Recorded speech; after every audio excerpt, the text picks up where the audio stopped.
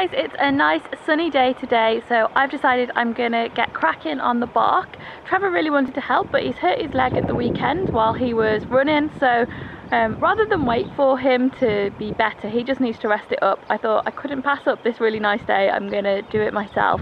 So that's the plan. It is a little bit windy, but that's just gonna make it cooler, I think. So those white bags there are the bark, and then I need to clear out this area between the shed and the greenhouse and um, put a membrane down. And then get the wood chip on top of it.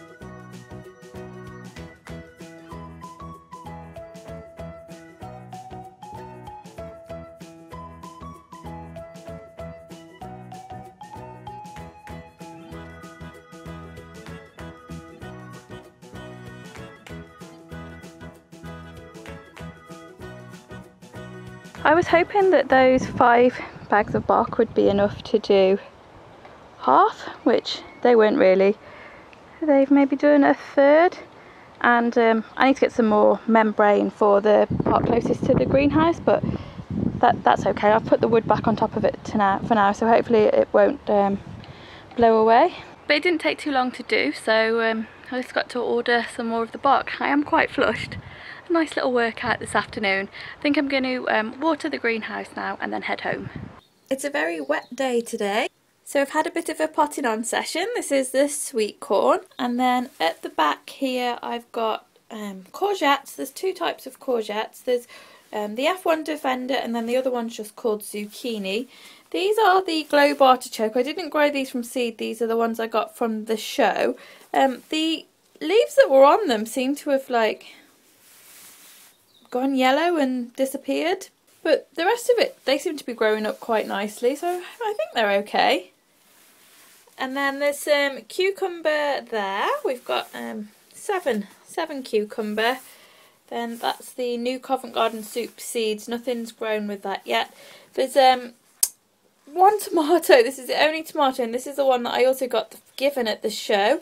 Um, I'm hoping to put that into the grow bags. And then these little ones, they're um, cauliflower. They might not need potting up just yet. They might be a little bit too small, but I was running out of space and only three of them are germinated, so I thought I'd get them out of their um, pots. Finally, in this egg box, some of the chilies are starting to germinate. They're very, very small. I'm filming on my phone today because um, I hadn't planned on on filming anything. I was just going to do some weeding, but the rain just hasn't stopped. And then I've got three beans, but I'm actually going to put the rest of the beans straight into the ground. And there's five peas. That one hasn't done anything yet.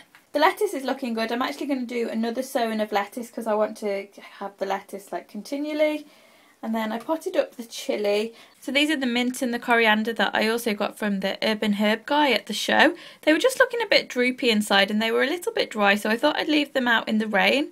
Um, I'm going to bring them in tonight, but eventually I do want to, to have them outside all of the time. The rest of the tomatoes, they either didn't come through at all, like none of these ones came through, and um, some of these did come through a little bit, but then they've died. I don't know what I did to them if I overwatered them. Um, they looked really dry, so I gave them some water, but I think they were actually probably already dead when they looked dry, so I'm, I don't know. They didn't do very much when they did come through. And then in this tray at the back, I have had these up on the top. I've just tucked them under here for now um, because they don't seem to be doing anything and I'm, I'm just about giving up on them really. These are the uh, Rosso chilies, Rosso peppers like the sweet pointed peppers they are. Um, nothing, nothing happening with them. And then at the very back, those tiny two in there are celeriac. So I'd just about given up on these trays and I thought I would stick them under here to see if they did anything. And it turns out there's some coming through on there. These are the ramrod spring onion, but I think they're going to be better if I just plant them straight into the ground. I've still got seeds of those left. I just don't think that the cardboard containers were that good and I won't use them again. Um, so they're just under there for now to see if anything happens, but I'm probably going to get rid of them, I think. It's been quite a wet week, but I did manage to get along the raspberries um, dug out. There's still a lot of bindweed quite deep in there, but for now I do feel like we're slowly making progress. Well, it's another wet day today, so I think I'm going to be in the greenhouse.